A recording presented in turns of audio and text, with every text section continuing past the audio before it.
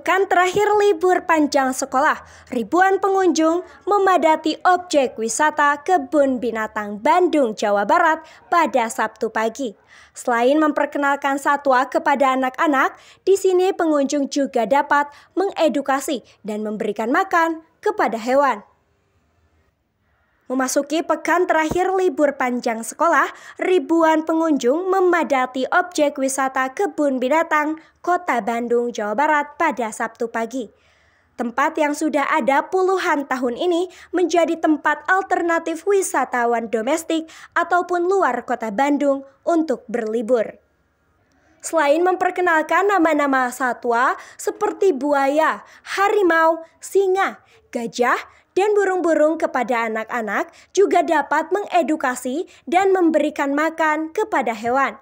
Selain udara yang sejuk, pengunjung juga dapat bersuah foto dengan hewan di kebun binatang Bandung. Dengan tiket Rp50.000, pengunjung sudah dapat menikmati suasana alam yang masih asri, juga mengedukasi anak terhadap satwa-satwa di kebun binatang Bandung. Kebetulan memang selama liburan kita nggak ke mana-mana, nggak keluar kota ya intinya. Jadi yang deket aja, deket dari rumah. Terus juga memang uh, di sini kan memang lihat binatangnya, jadi sekalian mengedukasi lah gitu. Daripada kita jauh-jauh, ternyata tempatnya baik lagi yang apa menghabiskan duit banyak, hmm. mending di sini. Hmm. Uh, kebetulan hari terakhir ya, uh, minggu terakhir liburan. Hmm. -uh, liburan terakhir, jadi memang ya pas banget. Karena memang kita nggak ke mana-mana. Oke. Okay. gitu. jadi uh, karena satu tempatnya rapi udah rapi. Mm -hmm.